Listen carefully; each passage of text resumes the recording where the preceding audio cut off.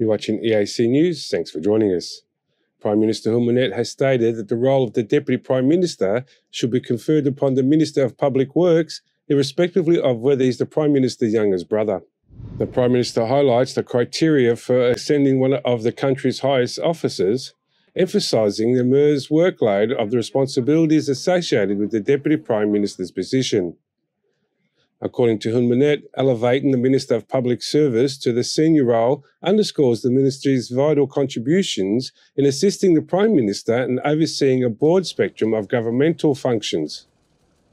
The Prime Minister stressed merit and professional competency as the fundamental criteria for advancement to the high ranking government positions, especially underscoring the Deputy Prime Minister's role. The National Assembly of Cambodia voted anonymously to appoint the Minister of Public Service, Hun Many, as the country's 11th Deputy Prime Minister. The motion requested by Prime Minister Hun Manet received full support from 120 lawmakers present. Hun Many's promotion to the position showcases his significant contributions and capabilities in public service, reinforcing the government's dedication to meritocracy over familiar ties. This strategy is designed to improve governmental efficiency and responsiveness. The announcement was part of the ceremony honouring the public service excellence, reinforcing the government's focus on merit based leadership to improve governance and public service in Cambodia.